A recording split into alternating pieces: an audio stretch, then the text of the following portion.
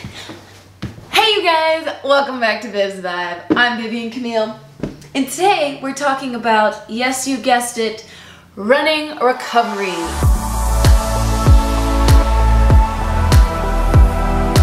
In my 50k training video, I talked about something called the recovery plan. So today I wanted to clarify what that is, delve into how to use it, and then three, show you how I use it to be intentional with my recovery because most runners are not great at recovering well. We can run all the time until we can't and we're injured and we're burned out. So, because I'm not a good recoverer, this is something that I do in order to prioritize that recovery. What I've done is broken the run experience into three categories, pre-run, run itself, and post-run. You choose one method of recovery in each of the categories and then you prioritize those throughout your week. In the coming weeks, I'm gonna go even farther into why these methods are important in your recovery and give you more examples of the things I do to recover. Number one are the recovery runs themselves.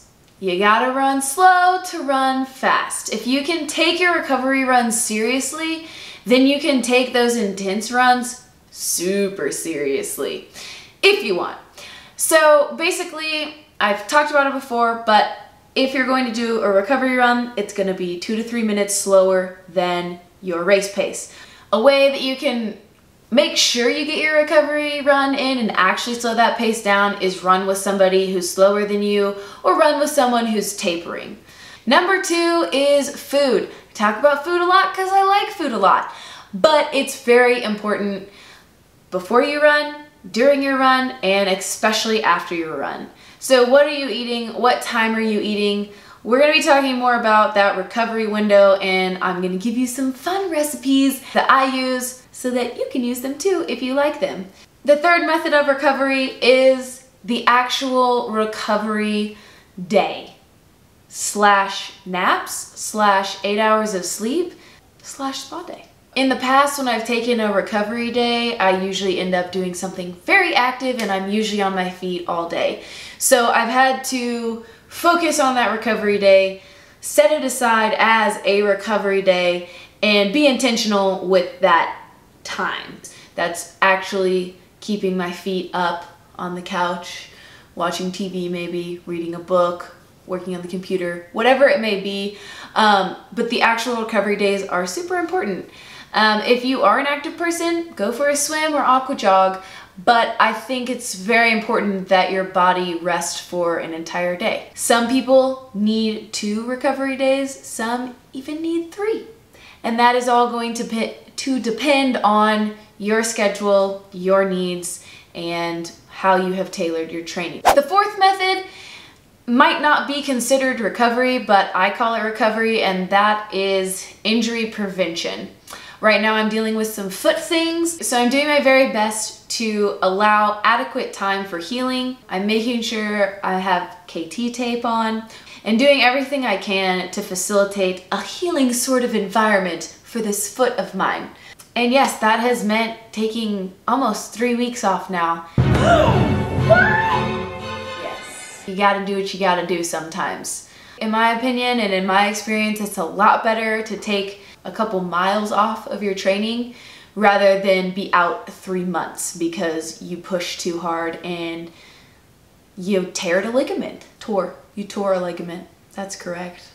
Okay, number five, I always have a little bit of a hokey element in my training, whether that's visualization, meditation, or having your very own dance party. Have a dance party. That's always a solution.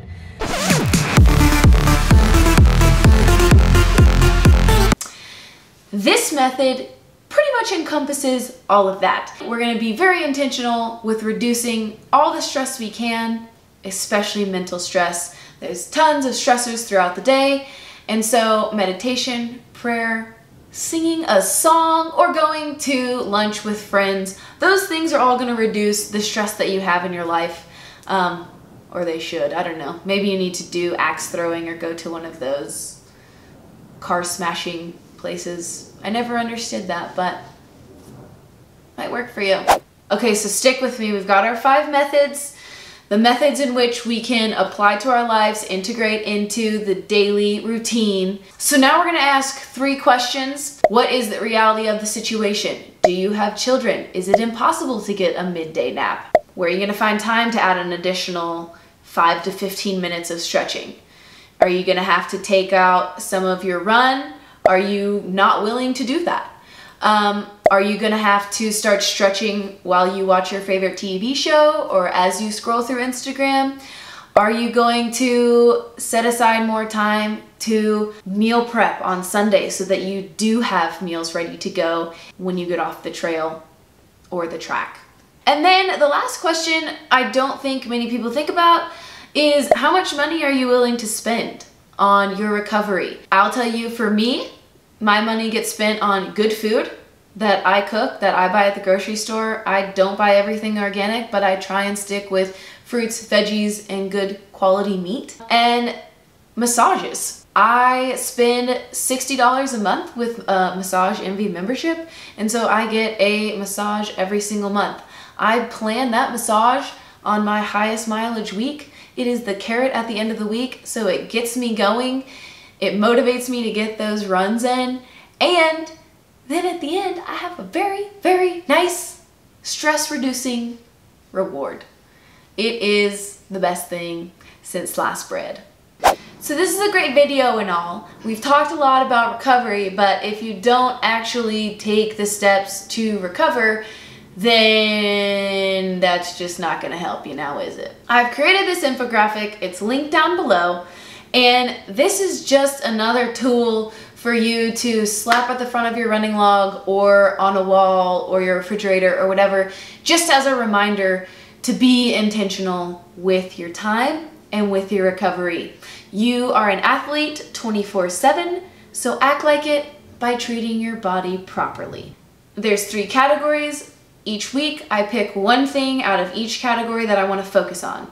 So for this week, I really want to focus on eight hours of sleep. That's a pre-run thing. That can also be in the post-run. Some of these are kind of fluid.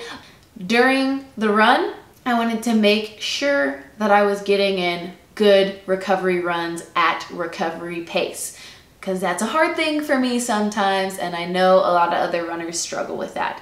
And post run, this week I have really worked on proper nutrition after I run, like immediately after I run. I set a timer for 15 minutes and it's like a race to the refrigerator. So that is how you can use this tool if you choose to do so. That's about all I've got for today. In the coming weeks, like I said, we're gonna go even deeper into examples, real life situations, recipes, and things of the sort. So you can look forward to that. Please like this video and subscribe to the channel. Subscribe wherever it is. I think it's here. If you're interested in any of those and comment below if you have any specific content that you would like to see or any other ideas that you might have involving recovery. Thanks so much for watching you guys and happy trails.